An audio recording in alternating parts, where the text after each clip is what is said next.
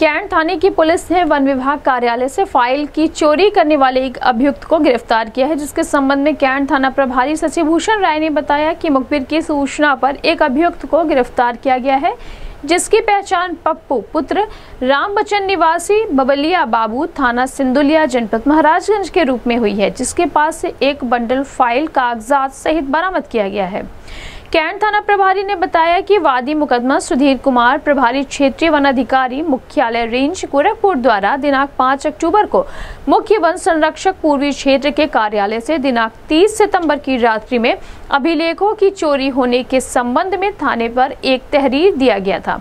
जिसकी सूचना के आधार पर कैंट थाने में मुकदमा पंजीकृत किया गया।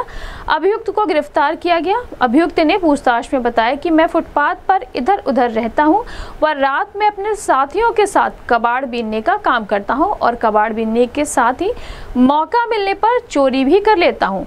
मेरे अन्य साथी पिंटू, अर्जुन व मोनू हैं। हम सब साथ में ही फुटपाथ पर रहते हैं। इसी तरह 30 सितंबर की रात में मैं अपने साथियों के साथ कबाड़ बिन रहा था।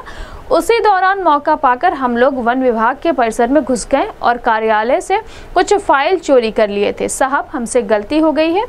उन्होंने बताया कि अभियुक्त को गिरफ़्तार कर जेल भेज दिया गया है। गिरफ़्तार करने वाली पुलिस टीम में कैंट थाना प्रभारी शशिभूषण राय, जटेपुर चौकी प्रभारी धीरेन्द्र कुमार राय, कांस्टेबल विनय वर्मा, संदीप कुमार शामिल रहे।